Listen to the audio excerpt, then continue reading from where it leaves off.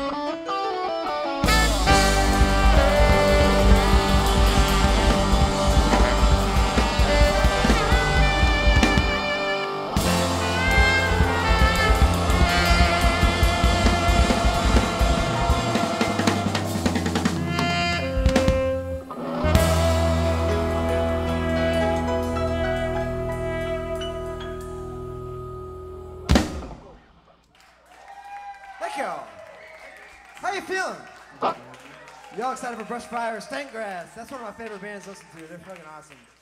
Super unique.